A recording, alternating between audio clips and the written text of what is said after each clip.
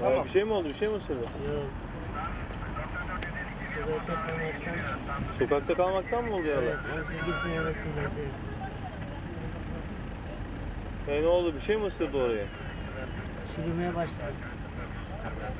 Bir şey içiyor musun ki? Hayır. İçmiyorsun değil mi? Sen şimdi burada böyle durabilir miyim oğlum?